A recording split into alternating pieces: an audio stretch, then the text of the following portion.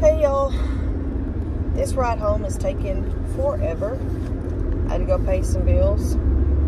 Um, alternator's out in my van, so we're down to one vehicle right now. And this vehicle I hate. I don't like cars. Um, and plus, we hit a deer in it in the front, so it's got one headlight. Um, and since I only have to carry liability on this car because it's paid for, I only have liability on it, so yeah, that's not getting fixed for a while.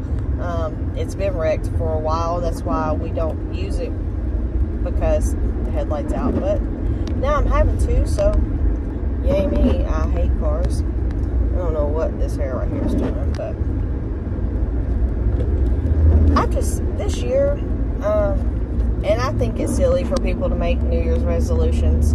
Come on, you probably broke it that day, or you'll break it within a week. It makes no sense to make New Year's resolutions, but I don't know, something, something's clicked in me. Something feels different. Something, um, I just feel better, and I haven't felt good since the day my dad died. I really haven't, and I, I know I bring that up a lot, but that's literally, I died that day, and I've been living like I haven't been alive ever since that day.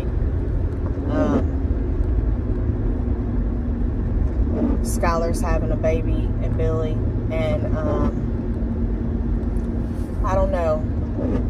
I think I just needed a light to come in and open my heart back up and stop me from being so closed off. And I really think that little Sage Renee is um, doing that. And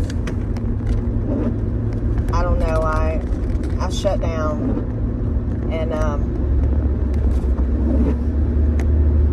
I shut down when Daddy died because I felt like my life was over. I felt like I lost everything I had.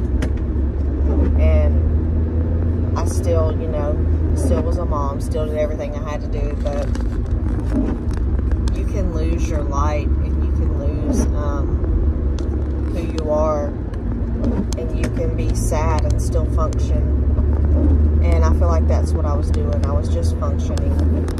And um, I'm really tired of being that person. I'm really tired. I want to um, genuinely feel good and not have to not pretend because I do have moments where I, you know, I'm happy, but I'm always thinking and always, you know, feeling guilty. I don't know, when you get left behind, and that's how I'm going to say it because that's how I feel. When you get left behind by somebody that important in your life, you just feel guilty. You feel like I felt for a long time that, you know, God should have took me and left my dad because my mom needed my dad so bad, and my kids needed my dad. Uh, my boys needed my dad. They, um, he was everything to them, and I needed him, but I knew they needed him more than I needed him, and I, I was willing to trade places.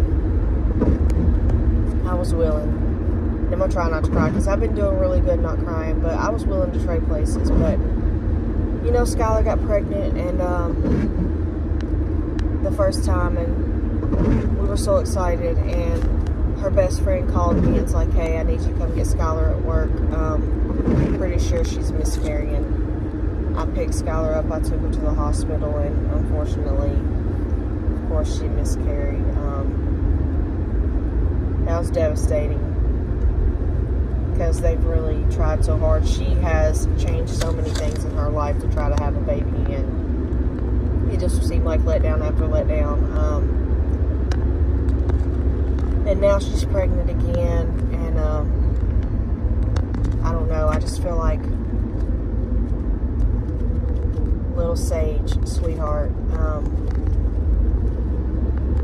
and I hope you see this one day, but you put the light back in me, baby girl you um, have, and every time I think about you, I smile, and I know Paw Paw is, um, Paw Paw sent you down here. I know he did. And, um, I think the reason I can talk about my daddy now is so I can tell her all about him. And I'm going to annoy her and tell her all about her Paw Paw Chicken Willie because he's the reason that her daddy is who he is because he is my daddy made over. You guys have a great evening.